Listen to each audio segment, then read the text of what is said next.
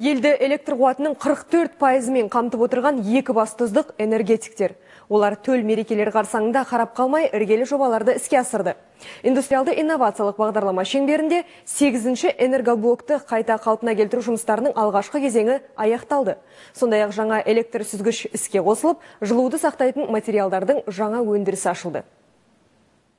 Екібастұздағы ең үлкен нөмірі бірінші жылу электр станциясы 2016 жылдан бастап толық қуатында жұмыс істеуге көшеді. Қазір кәсіпорындағы қосымша энергоблоктарды қайта қалпына келтіру жұмыстары жүріп жатыр. Бүгін 8 блоктың алғашқы кезеңі іске қосылды.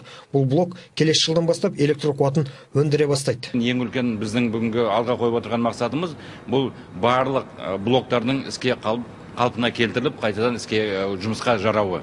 Бұл тек қана осы бірінші грэс бұл бірінші грестағы мәселе ғана емес бұл біздің екінші гресте да бұл ақсу станциясында да бұл жалпы павлодардағы тестерға да байланысты. Өйткені өздеріңіз білесіздер бүгінгі күні павлодар облысында қазақстанның электр энергиясының қырық төрт пайызы өндіріледі. Бүгінгі біздің беріп отырғанымыз алты жарым мың мегаватт болса сол жоспарланған меже бойынша он алтыншы жылы біз тоғыз мың мегаваттқа шығуымыз керек.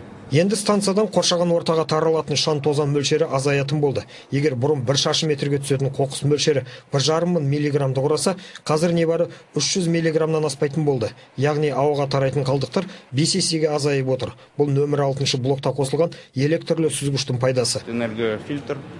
Который позволит нам энергосүзгіш ауаға таралатын қалдықтардың 99 пайызын ұстап қалады.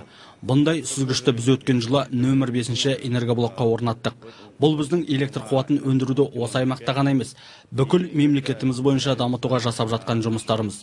Қоршаған ортаның тазалығы керек. Бұндай табысқа елбасының қолдауы және үкімет тарапынан бекітілген бағдарламаның нәтижесінде жетіп отырмыз.